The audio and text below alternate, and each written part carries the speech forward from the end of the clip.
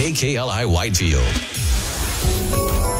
An iHeart radio station. And Whoville's official station for the holidays. Every Who down in Whoville liked Christmas a lot, but the Grinch did not. Sunny 106.3, the Christmas music station.